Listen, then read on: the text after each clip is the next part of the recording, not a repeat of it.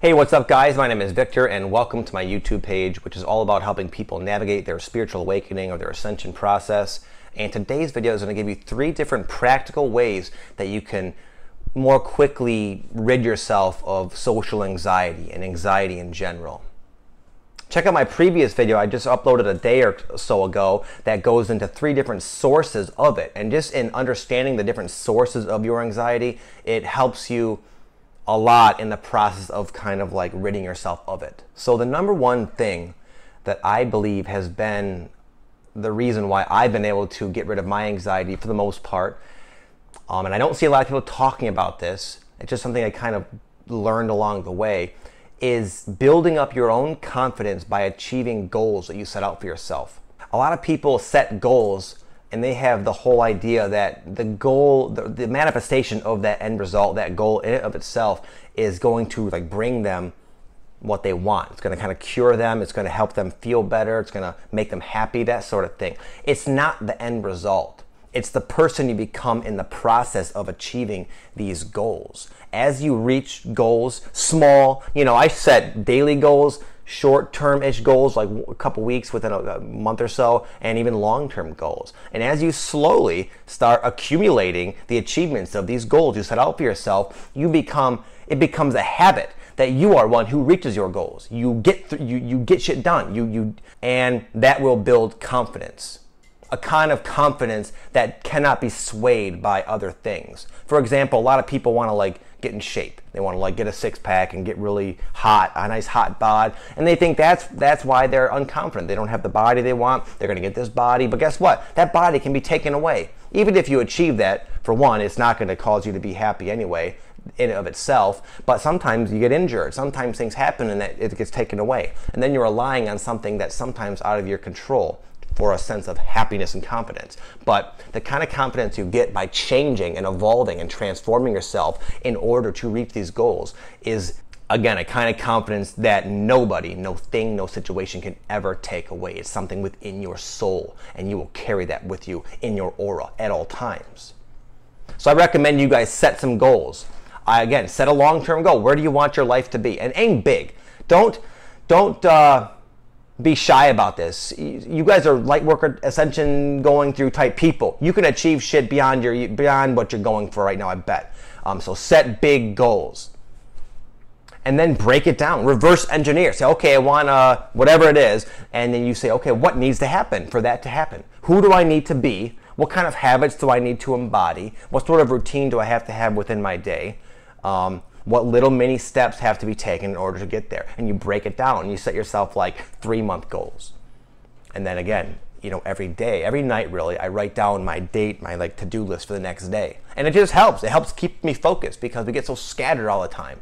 You start checking these little things off every day. It's a habit. You you get your, your goals done, and over time you're gonna look back after a year and you're gonna be blown away at who you are and what you've achieved. And that will give you confidence that even while you're dealing with your anxiety, that anxiety is going to become less potent and just have less of an effect on you. The, the new you is going to kind of take hold and be more the dominant influence in your day to day interpersonal experience. Number two is meditation. This is kind of one you might have suspected, I would say, but it does help a lot. And it helps for the reasons that people might not, a lot of people give up on meditation because it makes them feel worse.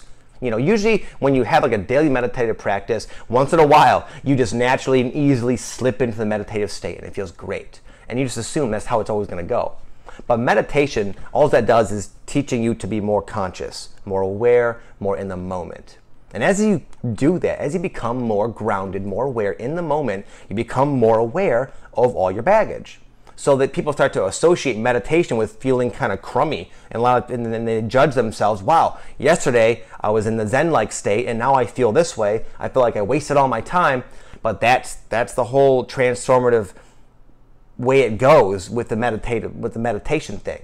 It just makes you more aware of your stuff. But the more aware you can become of all the things that are causing the anxiety in the first place the more quickly you can deal with it. You can't deal with the problem that's um, that you're not aware of. Find any kind of meditative practice that resonates. There's like mantra meditations, which I like to do. You can use tools like binaural beats, or I, I use a singing bowl all the time.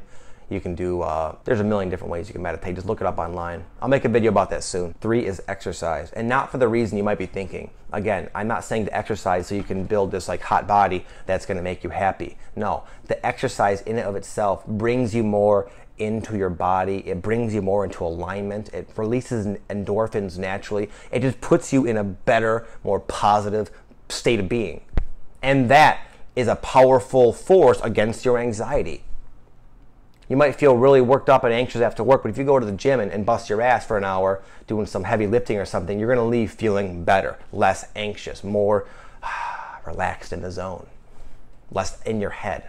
A lot of times when we are provoked with anxiety, we, we, we uh, start thinking about it all the time and it starts getting into our head. And then the, the, we're going through with this emotional chaos combined with this heady experience and it's sort of a difficult state of being to zap out of. And exercise is good for zapping you out of that. I personally think strength training is the best type of exercise type for that because just in all my experience as a personal trainer for a long time, that is just the type of exercise that seems to have that like awesome positive mind frame effect better than anything else. But that's just me. Experiment. Find something that does the trick for you.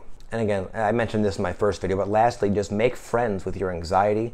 Look at it as a tool. Look at it as a means of, acquiring the right insight as to the source of it. And in doing so, you can get rid of it for good. You have the opportunity now in this lifetime to get rid of all of your anxiety. And you're going to have a chance to literally jump out of all of it be clean and pure and crisp and absent of all of it. Regardless of how intensely you're feeling it in this moment, you will transcend it if you want to. What most people have been doing is trying to deny it, suppress it, and numb it. And I'm, I'm guilty of that. I've done all of those things.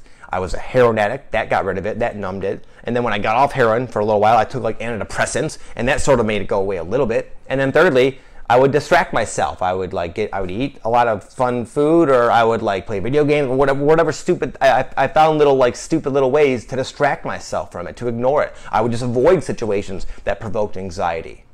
But that none of those things are really a solution. They're a temporary band aid that's just going to kind of keep you always stooped in your anxiety. Because we're living in a time where you're going to attract to yourself situations that will provoke that anxiety. You can't run from it anymore. Those techniques I just mentioned are they don't work really anymore if you haven't noticed. And you can't you can't stop it. It's, it's, a, it's a changing of the energies. You're going to feel yourself magnetized to situations that are going to trigger you and make you aware of all these things. But you could be more of a conscious participant in the whole thing so you don't have to just you literally get pulled into these like chaotic explosions of like social interactions that are incredibly uncomfortable, more kind of messy. You affect other people when you do that. You can just kind of do all this in the privacy of your own home. You might have little situations unfold here and there, but if you just become more of a willing participant, then you could absolve yourself of the social anxiety very, very quickly.